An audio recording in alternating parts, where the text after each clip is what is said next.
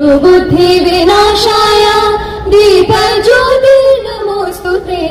दीपज्योतिर्नमोऽस्तु ते शुभं कुरुत्वम् कल्याणम् आरोग्यम् धनसम्